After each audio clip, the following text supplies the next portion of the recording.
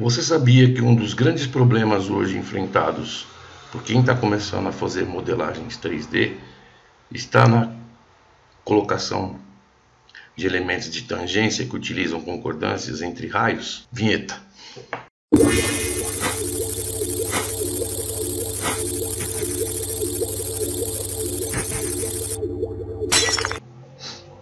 Olá, bem-vindo ao canal, professor Alexandre, para mais um vídeo do FreeCAD 3D, explorando um problema que uma boa parte de quem utiliza os, os modeladores de sólido tem, que é a realização de concordâncias entre raios e diâmetros.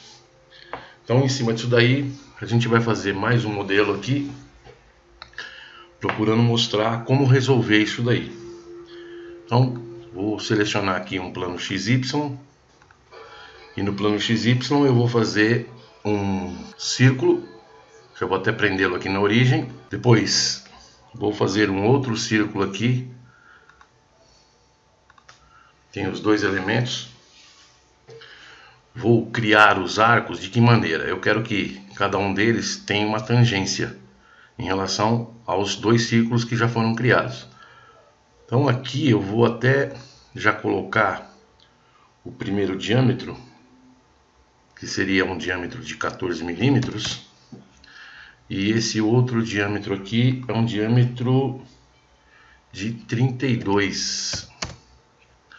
Ficou maior, não tem problema nenhum, tá passando pelo, pelo outro círculo, posso deslocar aqui para poder facilitar.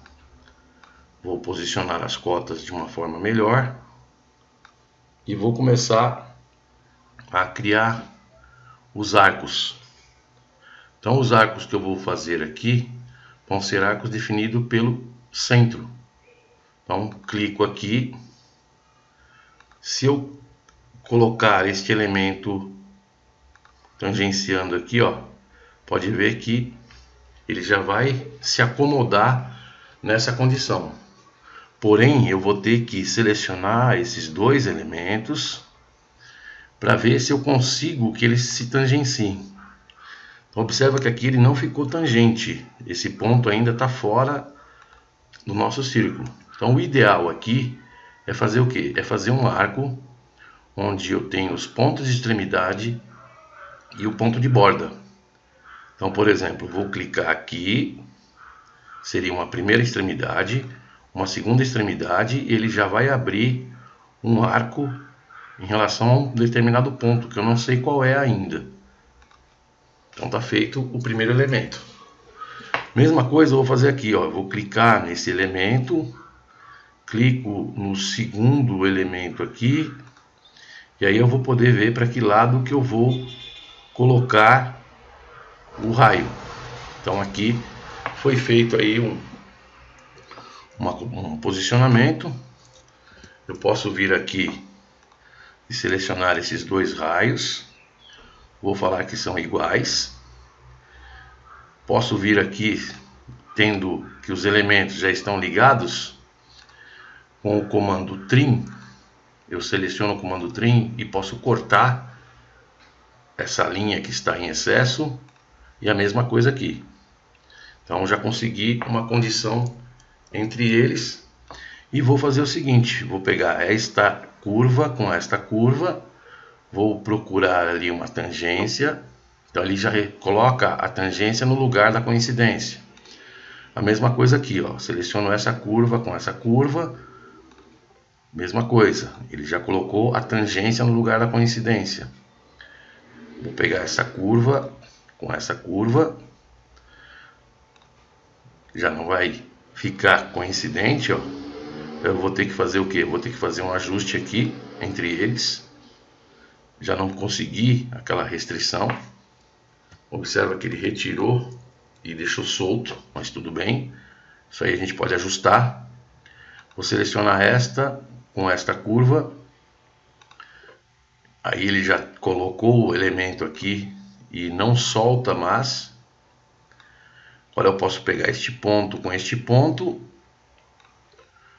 e ele já tinha fechado ali.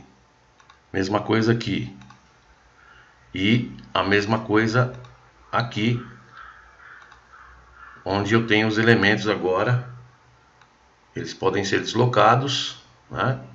mas eles não vão perder o contato existente. Então, como esses arcos são iguais, basta que eu coloque aqui a cota de um deles. Então, o raio deste aqui vai ser um raio de 6 milímetros. E aqui também eu vou fazer um raio de 6 milímetros. Opa! Um raio de 6 milímetros. Para os dois já foi definido. Só que eu vou ter que fazer o que? Eu vou ter que fazer um posicionamento entre eles aqui. Para poder deixá-los na condição que eu quero. Observa que aqui ele fez a coincidência, mas na realidade o que eu preciso é de uma tangência. Ele não vai perder mais a referência. A mesma coisa aqui, ó. Eu quero esse cara tangente com esse cara. E aí, nessa condição, você sempre vai ter esse problema, né? De ficar juntando um ponto com o outro até obter o que você quer. Então aqui eu vou fazer o seguinte, vou pegar este ponto em relação a esta linha, vou criar uma simetria. Vou pegar este ponto e este ponto e esta linha, vou criar também uma simetria. Então com isso, eu observo que eu tenho 2 graus de liberdade aqui. Eu vou travar a distância entre centros, que seria este elemento aqui. Vou colocar a distância entre centros aqui de 30. E vou colocar o valor do raio que está faltando ali. Aqui, que vai ser um raio de 6 milímetros. Então com isso a gente já conseguiu montar o nosso primeiro esboço. Vou fazer uma extrusão para poder acrescentar material. Então vou extrudar aqui com 15 milímetros, só para poder observar o que foi feito. Selecionar essa face, fazer um esboço na face. Então aqui eu vou ter que colocar um, vou colocar um furo. Aqui nesse outro elemento também vou colocar um outro furo. Com isso, eu vou ter a distância entre os dois vai ser de 30, o que já havia sido feito no esboço anterior, para poder manter a relação de raio, né? Esse cara, o diâmetro dele vai ser de 7 milímetros. E esse cara, o diâmetro dele vai ser de 16 milímetros. Vou fechar o esboço, tenho os dois elementos criados ali e vou fazer um corte estrudado passando através das duas faces. E o nosso modelo está montado. Então, o objetivo foi justamente entender como funciona essa relação de tangência entre as curvas para o modelo não perder aquelas referências e você ficar se, se perdendo com relação ao modelo. Vou ver aqui uma condição para poder se ele refina esse cara. Então vou pegar o corpo aqui na totalidade. Vamos ver aqui seleção de todo o corpo.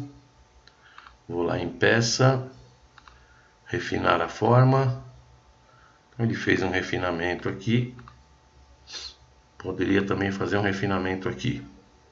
Mas a ideia é essa daí, é trabalhar com a parte de concordância dos arcos dentro de um desenho, que é um grande problema que o pessoal tem quando vai fazer modelagem 3D. Espero que vocês tenham gostado do vídeo. Se você gostou, deixa o seu like aí. Se não tiver inscrito no canal, se inscreva. Se está inscrito, verifique se as suas notificações estão habilitadas. Esquece, se você quiser participar do grupo Telegram, o link está na descrição desse vídeo. E até o próximo vídeo.